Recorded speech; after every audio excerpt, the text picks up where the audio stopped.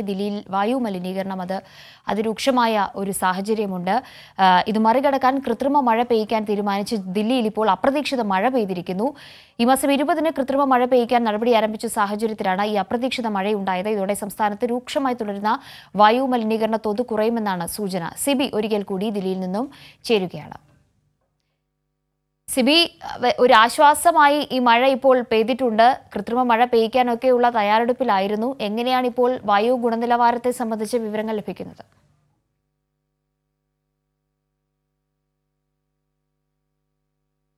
ആശ്വാസകരമാണ് ഈ ഒരു വലിയ മഴ എന്ന് പറയുന്നത്. ഇന്നലെ ഒരു അർദ്ധരാത്രിക്ക് ശേഷം പുലർച്ചയോടെയാണ് ഈ ഒരു ആശ്വാസ മഴ പെയ്തത്. എന്തായാലും നവംബർ ഇരുപതിന് കൃത്രിമ മഴ പെയ്യിക്കാനുള്ള ഒരു തീരുമാനവുമായി ദില്ലി സർക്കാർ മുന്നോട്ട് പോവുകയും അതുമായി ബന്ധപ്പെട്ടുകൊണ്ട് ഐ ഐ ടി കാൺപൂരിനെ സമീപിച്ച് അവർ വിശദമായ റിപ്പോർട്ട് ഇന്നലെ ദില്ലി സർക്കാർ സമർപ്പിച്ചിരുന്നു. ഈ റിപ്പോർട്ട് നാളെ ഇന്ന് സുപ്രീം കോടതി സമർപ്പിക്കുകയും സുപ്രീം കോടതി അനുമതിയോടെ നവംബർ ഇരുപതിന് ഇത്തരത്തിൽ ഒരു കൃത്രിമ മഴ പെയ്യിപ്പിക്കാനുള്ള ശ്രമവുമായി ദില്ലി സർക്കാർ മുന്നോട്ട് പോവുകയായിരുന്നു. അതിനിടയിലാണ് എന്തായാലും ആശ്വാസകരമായി അപ്രതീക്ഷിതമായ ഈ മഴ പെയ്തത്. എന്തായാലും ഇപ്പോഴും എനിക്ക് പുറകിലും ഇപ്പോൾ മഴ ചെറുതായി പെയ്തു തുടങ്ങുന്നുണ്ട്. അന്തരീക്ഷം മേഘാവൃതമാണ്. ഇനിയും ഇന്നത്തെ ദിവസം മഴ കൂടുതൽ പെയ്യാനുള്ള സാധ്യതയുണ്ട്.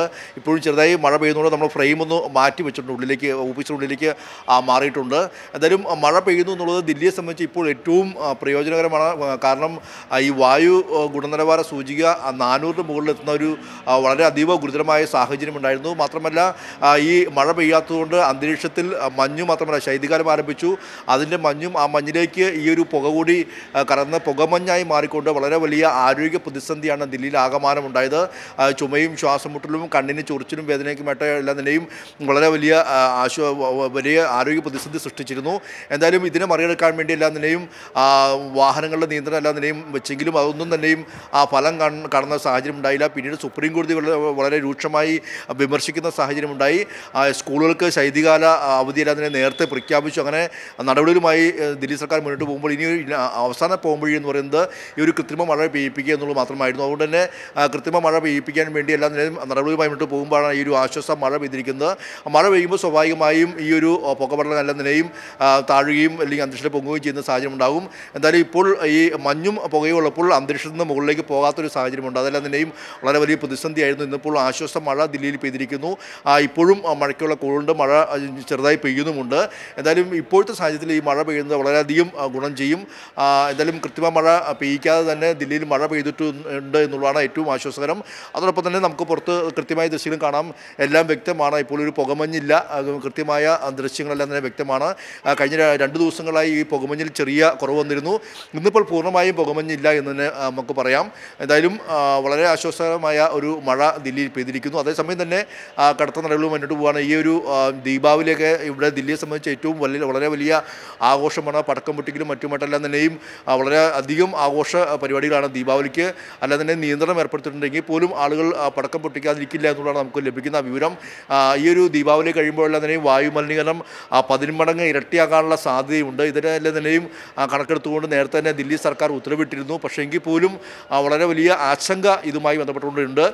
ഇപ്പോൾ ഇന്നലെ തന്നെ പഞ്ചാബിലും മറ്റുമെല്ലാം തന്നെയും ഈ നെൽവയലെല്ലാം തന്നെയും കൂട്ടത്തോടെ കത്തിക്കുന്ന ആയിരത്തോളം കേസുകൾ റിപ്പോർട്ട് ചെയ്തു. നിരവധി സംഭവങ്ങൾ വീണ്ടും വീണ്ടും വീണ്ടും റിപ്പോർട്ട് ചെയ്യുന്ന സാഹചര്യം ഉണ്ടാകുന്നു. ഇതെല്ലാം തന്നെയും വളരെ വലിയ രീതിയിൽ ഒരു പരിസ്ഥിതി മലിനീകരണത്തിലേക്കും ആ, വായു മലിനീകരണം രൂക്ഷമാകാൻ എല്ലാ നിലയും കാരണമായിരുന്നു.